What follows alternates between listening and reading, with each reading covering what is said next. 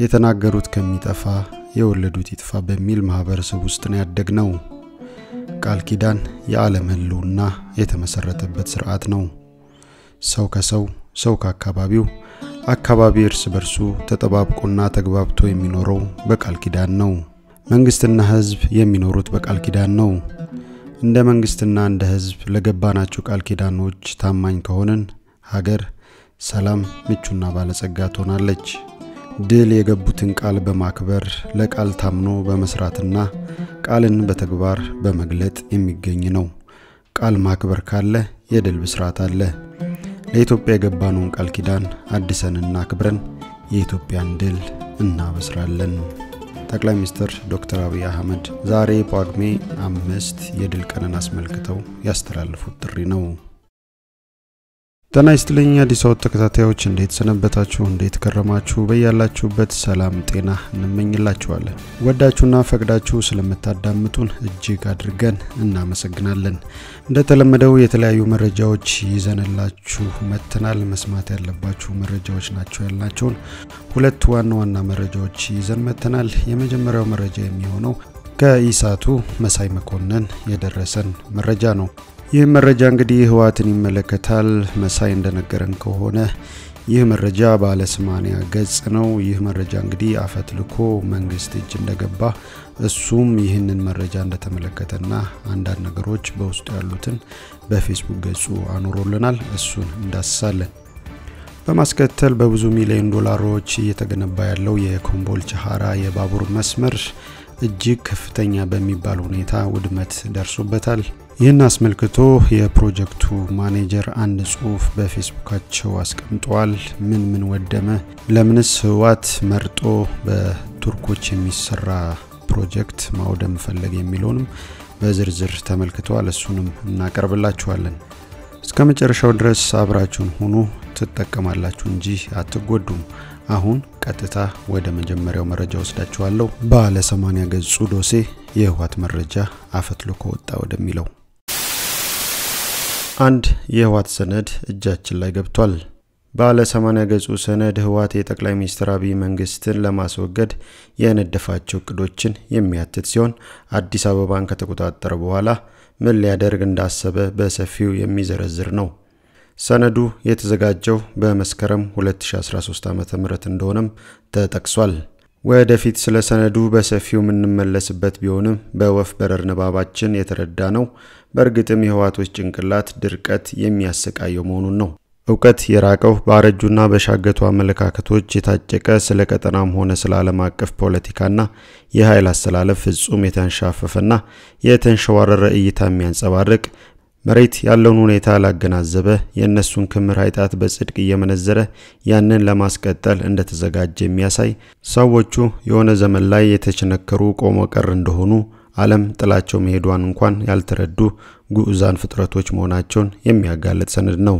በሌላ ጊዜ እንመለሳለን ብለን ቀጠሮ እንያዝና ወደ ሰሞነኛው ጉዳያችን እንለፍ። አፋር ክልል ሙሉ በሙሉ ከህወሓት ቁጥጥር ነጻ ወጥቷል።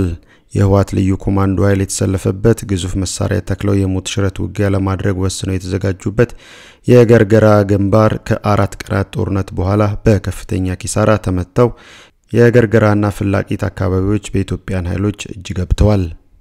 ሰሜን ጎንደር ቁልፍ የሆነውን የዛሬማ አካባቢም እንዲሁ በዛሬው ዕለት ነጻ ከወጡ ቦታዎች የሚጠቀስ ነው።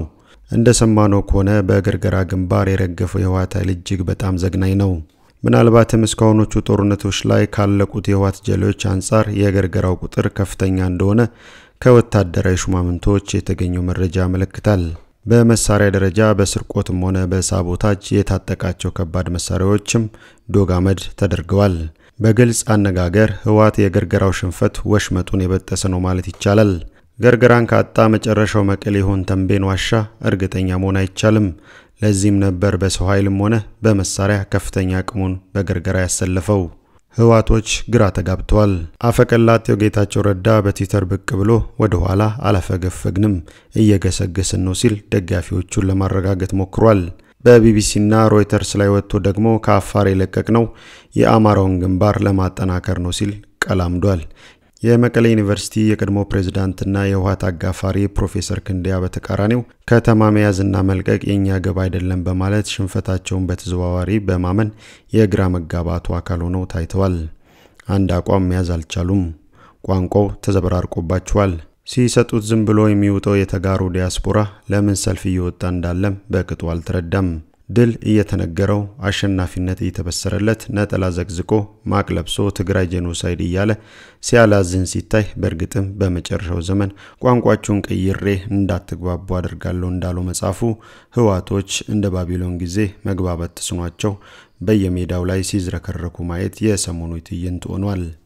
ትግራይ የህወሓት እብደት የከፋ ገጽታ የሚታይባት ምድር ሆና ቀጥላለች። ህዝቡ ለልመና አደባባይ ወጥቷል። የሚሰጥ ባይኖርም የሚለምነው የእኔ ቢጤው አደባባዮችን አጣቧል። ህዝቡ የነጌታቸው ረዳን ቅጥፈት የሚሰማበት ጆሮ በረሃብና ችጋር ምክንያት ደክሟል። እናቶች ልጆቻቸውን ከህወሓት ጆፌዎች ለማስመለጥ ወደ አጎራባች አካባቢዎች አንጠልጥለው እየተሰደዱ ነው። ምንም ነገር የለም። ስኳር ለመድኃኒት ቢፈለግ እንኳን የሚገኝ አልሆነም። ዘይት ስሙ ጭምር እየጠፋ ነው።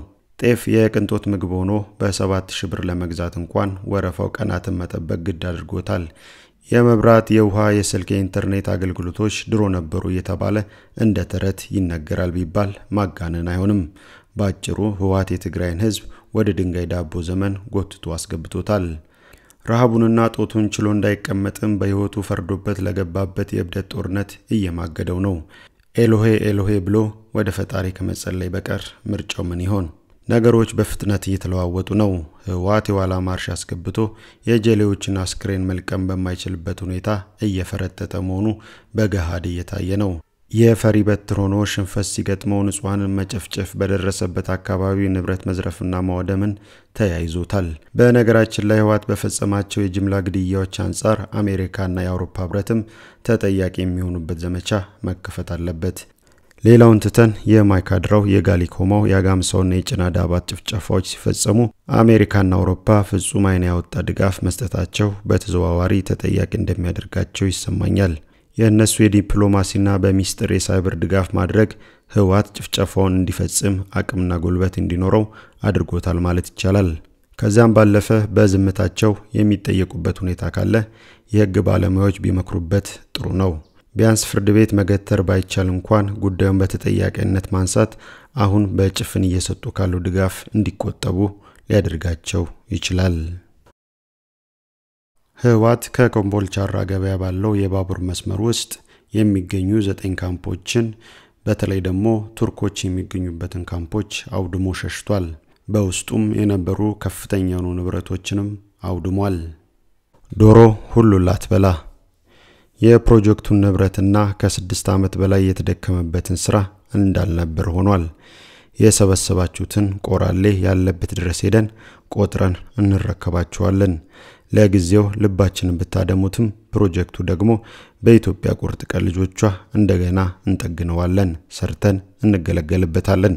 በምዕራፍ ሁለት ማለትም ከኮምቦልቻ ሀራ ገበያ ባለው የባቡር መስመር ውስጥ ዘጠኝ ካምፖች ሲኖሩ ስድስቱ የሰራተኞች መኖሪያና ንብረት ማከማቻ ሲሆኑ ሶስቱ ደግሞ ማፈንጃ ማከማቻ ነበሩ። በአምስቱ ካምፖች ማለትም ሀራ ገበያ፣ ጃሮታ፣ ጊራና፣ ቱላ ሐይቅና ሀሪዲቦ ሲሆኑ በዚህ ውስጥ በአጠቃላይ 3500 የሀገር ውስጥ ሰራተኞች፣ 600 የሚሆኑ ደግሞ የቱርክ ዜጋ የሆኑ እንደዚሁም 350 የፊሊፒንስ ዜጎች በአጠቃላይ 4450 ሰራተኞች የሚኖሩበት የነበረ ሲሆን በሶስቱ የሚፈነዱ ነገሮች የሚቀመጥበት ዲፖ ሲሆን ከእነዚህ ውስጥ ሶስቱን የሰራተኛ መኖሪያ ማለትም ሀራ ገበያ ጃሮታና ጊራናን ጠላት ገብቶ ንብረቶቹንና የመኖሪያ ካምፖቹን እንዳልነበረ ያደረጋቸው ሲሆን በጊራና የሚገኘውን የጃሮታ የፈንጂ ማከማቻ ውስጥ የሚገኘውን 250 ቶን ፈንጂ እንዳልነበረ ሆኗል። ከስድስት ዓመት በላይ የተደከመበትን የህዝብ ሀብት በቀናት ውስጥ ወድሟል። በጠላት በተዘረፉና እንዳልነበሩ በነበሩ ካምፖች ውስጥ ይገኙ የነበሩ ንብረቶች ቁጥራቸው ከ268 በላይ ሲሆን በውስጡ በጥቂቱ የተዘረፉ ኤክስካቫተር 25፣ loader፣ dozer grader 19፣ dump truck፣ water truck 88፣ locomotive 3፣ የህዝብ bus minibus 8፣ backloader 8፣ mobile crane 5፣ mobile concrete batching plant ሁለት፣ trans mixer አራት፣ crusher set ሁለት፣ steam engine አንድ፣ ጄኔሬተሮች 40፣ telehandler አንድ፣ forklift፣ man lift፣ compressor 61 ናቸው።